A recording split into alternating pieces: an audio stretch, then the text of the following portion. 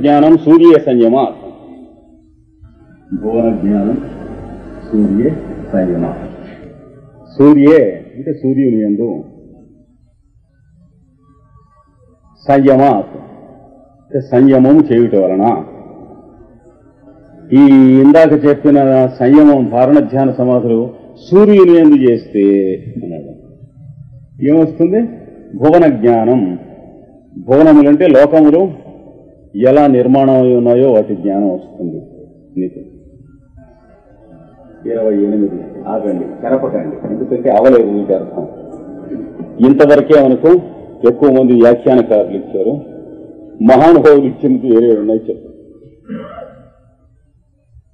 దీని నెక్స్ట్. చంద్రే తారావ్యూహ జ్ఞానం. చంద్రే తారావ్యూహ జ్ఞానం. చంద్రే అంటే చంద్రుని ఎందు. ఇక్కడ సంయమాత్ అనేది టు బి సప్లైడ్ అంటే నీ సంయమము చేయటం వలన ప్రొజెక్ట్ చేయడం వల్ల నీ కాన్షియస్నెస్ని అవేర్నెస్ని తారావ్యూహముల జ్ఞానం వస్తుంది. తారాలంటే తారకలు మనం చూస్తున్నాం కదా ఆకాశంలో? అనంతకోటి తారకలు. చుక్కలు వాటి వ్యూహములంటే గుత్తులు గుత్తులు నిర్మాణాలు. వాటి జ్ఞానం వస్తుంది. అవ్వలేదు అట్లా ఉన్నాయి. ఎందుకంటే అది రాకపోతే మనకి? మొన్నమాట అది అధ్యాత్ చూద్దాం ఏమిటో. ఇప్పుడు మూన్లోకి శాటిలైట్ పంపాం. మార్స్లోకి శాటిలైట్ పంపాం. ఎంత అయిందయ్యా? అంటే ఇన్ని మిలియన్ల డాలర్లు అన్నవాడికి ఎంత కామన్ సెన్స్ ఉన్నదో వీడికి అంతే కామన్ సెన్స్ ఉంది. అందులో తెలుస్తాయి ఇందులో ముందు ఇందులో తెలియని తర్వాత ఎడుద్దాం చంద్రులో శాటిలైట్ పంపి ఇన్ని మిలియన్ల డాలర్లు తగలబెట్టే బదులు భూమి మీద బ్యాక్వర్డ్గా ఉన్న దేశాల్లో తిండి లేనటువంటి వాళ్ళకి పంచిపెడితే ఏదన్నా వాళ్ళకి అన్నాలు వాళ్ళ చేత ఏదైనా చేయిస్తే వర్క్ దీన్ని స్పాన్సర్ చేయిస్తే అంటే before we discharge our own duties for our brotherhood on this planet why should we boast of going to other planets like Ravana and Hiranyakashipu are no better science development ఎవరికి కావాలి? నీ science లేకపోతే ఏమి మనలో మాట? నీ జపం లేకపోతే నీ యోగాభ్యాసం లేకపోతే ఏం? నీ పొలిటికల్ ఫెలోస్ లేకపోతే నీ యుద్ధాలు లేకపోతే ఏమి? మాకు కావాల్సినవి కావు కదా అంటే వీ హ్యావ్ నో ఆన్సర్ మొహం ఇచ్చేసుకోవాల్సిందే కానీ ఎంత పెద్ద ఉండవుడికైనా దానికి ఆన్సర్ లేదు. కామన్ సెన్స్ ఎగెన్స్ట్ కదా. మనం చేస్తున్నటువంటి టెక్నికల్గా పెద్ద పెద్ద పనులు. ఇన్ని కోట్ల డాలర్లు అయిందంటే ఇది అపైకి కొట్టింది? ఎందుకు కొట్టినట్టు? దీపావళి పండుగకు వంద రూపాయలు టపకాయలు కొనుక్కొచ్చాను. కుర్రాడికి అంటే ఎంత సెన్స్ ఉన్నదో. దీనికి అంతకంటే తక్కువ సెన్స్ ఉంది కానీ ఎక్కువ సెన్స్ లేదు. కొంచెం కామన్ సెన్స్ ఉన్నవాడు. ఒరే వంద రూపాయలు టపకాయలు ఎందుకురా? పిల్లాడికి చొక్కా కుట్టిస్తే బాగుండని చెబితే వెంటనే మనం పూలని తెలుస్తుందా లేదా? ఇందులో తెలియని కూడా లేదు. ఎందుకంటే ఫాల్స్ అచీవ్మెంట్ యొక్క సెన్స్ ఉంటుంది ఇందులో. ఈ కంట్రీ కొట్టింది ఆ కంట్రీ కొట్టింది. రష్యా ముందు పంపించింది అమెరికా ముందు పంపించింది. ఇలాంటి ఫాల్స్ పరిస్థితి కనుక చెప్పినా తెలియదు. అంటే పర్ఫెక్ట్ ఇడియసీ అనమాట ఇంకరిజిబుల్ ఇవి కావు మనకు కావాల్సినవి ఉన్నాయి అర్థాలు చెబుతారు దీనికి ఏం చెప్పాడో అది తెలుసుకుందాం. తర్వాత చంద్రే తారావ్యూహ జ్ఞానం. ఇరవై తొమ్మిది కూడా. ఈ మూడు ఒక జాతికి సంబంధించినవి. ధ్రువే సద్గతి జ్ఞానం. తర్వాత సూత్రం. ఇంకా పైకి వెళ్ళాడు ధ్రువం అంటే? పోల్స్తారు ధృవతారాయణుడు సద్గతి అంటే వాడి గమనం జ్ఞానం తెలుస్తుంది ధృవతార యొక్క గమనం భూగోళం యొక్క ధ్రువం తిరగటం ఈ బొంగరం గిరిగిరి తిరుగుతున్నట్టు తెలియకపోతే ఏమండి? ఇక్కడ మనకి కొలిగిస్తాడు ముప్పై సూత్రంలో. అక్కడి నుంచి మళ్ళీ ఉప్పుకోవాలి పైకి. ముప్పై అది అంటే అన్ని వరసను రాసేస్తున్నాను అనుకోకండి. ఇట్లు చెట్టు విప్పుకోవలసినటువంటివి ఉన్నాయి. అందుకని నాభి చక్రే. సూర్యులోకి వెళ్ళాం చంద్రులోకి వెళ్ళాం ధృతారులో ఉన్నాం. ఎక్కడ ఉన్నామండి నాభి చక్రం దగ్గర ఉన్నాం.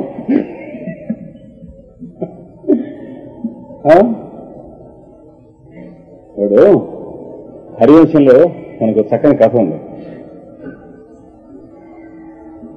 వాడు బ్రాహ్మడు కొడుకులు పుట్టంగా చచ్చిపోతుంటారు ముగ్గురు అయినారు అది నాలుగోరు భార్య నొప్పులు పడుతూ ఉంటే కృష్ణుడి దగ్గర పరిగెత్తి వస్తాడు పరిగెత్తి వచ్చి తాను ఈ తడ వచ్చి నాకు పుత్రవంతునిగా చేసి ఏదో తరింపజేసి రక్షించారు కృష్ణుడు తన తండ్రి వసుదేవుడు ఏదో యజ్ఞం చేస్తూ ఉంటే దాని దీక్ష కంకణం కట్టుకుని కూర్చున్నాడు వాకిలి కదలకూడదు. అలా పెట్టాడు టెస్ట్. కృష్ణుడు ఎప్పుడు చేసినా వెనక నుంచి ముందుకి అడ్డంగా చేస్తాడు కానీ రాముడిలాగా కనిపించేట్టుగా నేను చేస్తాను పర్లేదని రక్షించడం. కృష్ణుడికంతా తృప్తిష్గా ఉంటుంది. అయ్యో నేను ఇక్కడ ఎగ్గి దీక్షలో ఉన్నానే అన్నాడు. కొన్ని రేపు రా రేపు వస్తాను పద అన్నాడు. రేపు లోహం అన్నాడు. ఏది? మాడిన వెనుక ఏమవును మంత్రపు నీళ్ళు చల్లవచ్చునే అంటాడు వాడు.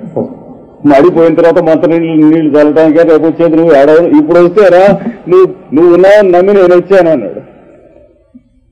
అయ్యో వీడి ఎట్లాగని వీడు కంగారు పడుతుంటే అర్జునుడు పోనీ ఎడురా అన్నాడు. అంటే వీడికి కావాల్సింది చేయటంతో పాటు వాడికి కూడా ఏమన్నా లోసుకుంటే అది హీల్ అవ్వాలి.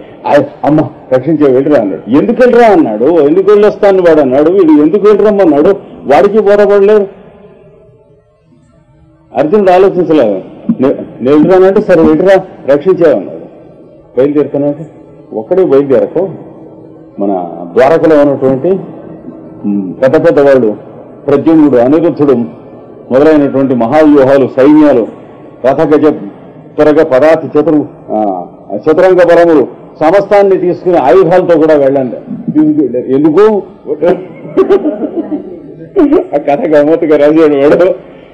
ఎవరు మీద కానీ వాడు పిల్లలు తెస్తున్నారు మూడు రోజులు వాడుతున్నాడు వాడు మీరు చూసుకోకుండా అర్జునుడు వెళ్ళిపోయి అక్కడి నుంచి ఊరంతా చుట్టూ నాలుగు బజార్లలోనూ కూడా ఊరు లోపలికి పొలిమేర్లలో ప్రవేశించేటువంటి సైన్యాలు పెట్టించాడు. అక్కడ కాబూల్లో రష్యా వాళ్ళు పెట్టారు అలాగా పెడితే గాంధీవం పుచ్చుకుని అమ్ము పుచ్చుకుని రెడీగా ఆ ఇంటి ముందు అటు ఇటు తిరుగుతున్నట్టు బోన్లో కూలీలే అర్జునుడు. నొప్పులు పడుతున్నది ఆవిడ అన్నారట. నొప్పులు పడుతుంది ఇంతలోకి ఏమైంది? సుడిగాలి తిరిగిందిట. సుడిగాలితో దుమ్ము పైకి లేచింది మార్జాలంబులు సెలగుతూ గర్జించాను. పిల్లులు పిల్లలు రెండు పోట్లాడుకుంటూ గైహన కేకలు వినిపించినాయన్నారు. పుట్టాడు పుట్టాడు. అని అరిచేట అయ్యో పోయాడు పోయాడు అని పురుటి గడ్డు గదిలోంచి కేకలు వినిపించినాయట అప్పుడు అర్జునుడు క్వశ్చన్ మీరు ఆలోచన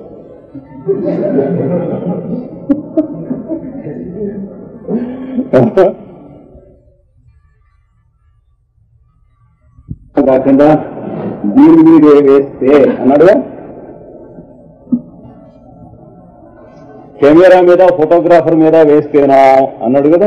అక్కడి నుంచి తిప్పాడు అసలు విషయం కథ. ఇక్కడ ఇదంతా అదే. వేస్తే ఏం కనిపిస్తుంది అన్నారు అక్కడ? ఏది? ప్రవృత్తి అవలోకనం వల్ల సూక్ష్మ జ్ఞానమును వ్యవహిత జ్ఞానమును తర్వాత విప్రకృష్ట జ్ఞానము తెలుస్తుంది ఇది తెలిసినంత కాలం